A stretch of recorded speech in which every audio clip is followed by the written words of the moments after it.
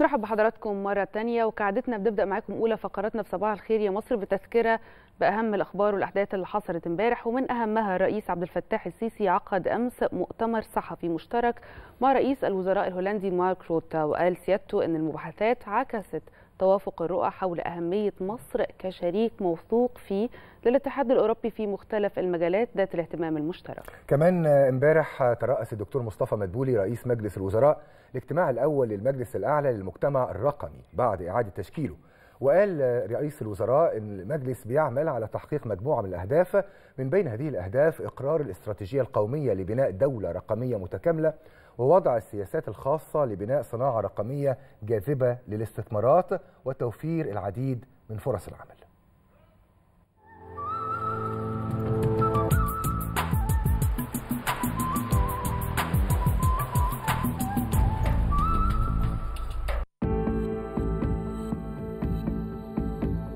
أخبار كتيرة مهمة حصلت امبارح. الرئيس عبد الفتاح السيسي عقد مؤتمر صحفي مشترك مع رئيس الوزراء الهولندي مارك روتا وقال سيادته إن المباحثات تناولت تأكيد الالتزام باستكشاف سبل تدعيم العلاقات الثنائية بين البلدين في ضوء وجود آفاق أوسع للتعاون الثنائي في مختلف المجالات السياسية والاقتصادية والعلمية والثقافية. وعكست المباحثات توافق الرؤى حول أهمية مصر كشريك موثوق فيه للاتحاد الأوروبي ودول الأعضاء في مختلف المجالات ذات الاهتمام المشترك. بما في ذلك مكافحة الهجرة غير الشرعية ومكافحة الإرهاب ودعم تحقيق الأمن والاستقرار في المنطقة بما يحقق المصالح المصرية الأوروبية. وأكمل الرئيس السيسي تناولت المباحثات بطبيعة الحال الأوضاع في المنطقة وتحديدا الحرب في قطاع غزة. وأكدت مجددا حتمية الوقف الفوري لإطلاق النار وإنهاء إسرائيل أعمالها العدائية. ودعوت في هذا الإطار رئيس الوزراء الهولندي لبذل جهوده الصادقة في هذا الصدد باعتبار ذلك شرطا أساسيا لإنهاء الكارثة الأساسية في قطاع غزة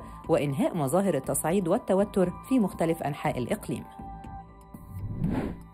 امبارح ترأس الدكتور مصطفى مدبولي رئيس الوزراء الاجتماع الأول للمجلس الأعلى للمجتمع الرقمي بعد إعادة تشكيله واستهل رئيس الوزراء الاجتماع بالإشارة إلى أهمية دور المجلس الأعلى للمجتمع الرقمي الذي أعيد تشكيله مؤخرا في تحقيق مجموعة من الأهداف واللي من بينها إقرار الاستراتيجية القومية لبناء دولة رقمية متكاملة واعتماد السياسات والإجراءات والآليات الخاصة بالتغيرات الهيكلية اللازمة لبناء مجتمع رقمي بجانب إقرار سياسات تقديم الخدمات الحكومية الرقمية والسياسات الهادفة لبناء صناعة رقمية جاذبة للاستثمارات وفرص العمل.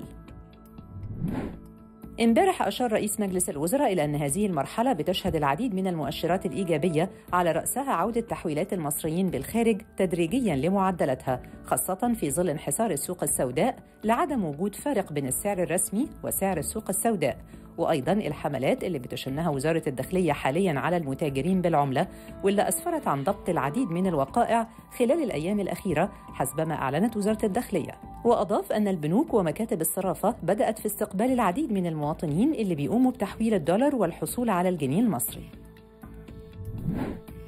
امبارح وافق مجلس الوزراء في اجتماعه برئاسة الدكتور مصطفى مدبولي على تحديد سعر توريد القمح المحلي لموسم 2024-2025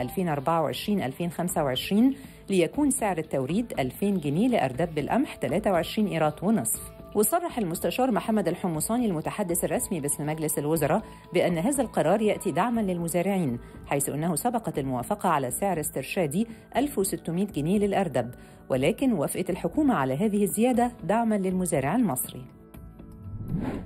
امبارح وفي إطار ثوابت استراتيجية وزارة الداخلية الهادفة لتفعيل الدور المجتمعي والتعاون مع كافة أطياف وفئات المجتمع والتواصل الفعال بكافة المناسبات بما يسهم في تعزيز الترابط بين رجال الشرطة والمواطنين قامت وزارة الداخلية بإطلاق مبادرة كلنا واحد معك في رمضان في إطار المبادرة الرئاسية حياة كريمة لتجهيز عدد من وجبات الإفطار وتوزيعها على المواطنين الصائمين ممن تتطلب طبيعة عملهم التواجد خلال توقيت الإفطار ده بالإضافة للعمالة غير المنتظمة بعدد من المناطق بنطاق محافظتي القاهرة والجيزة وتم إيفاد عدد من ضباط قطاع حقوق الإنسان بالوزارة بالاشتراك مع مديريتي أمن الجيزة والقاهرة للمشاركة في الفعالية.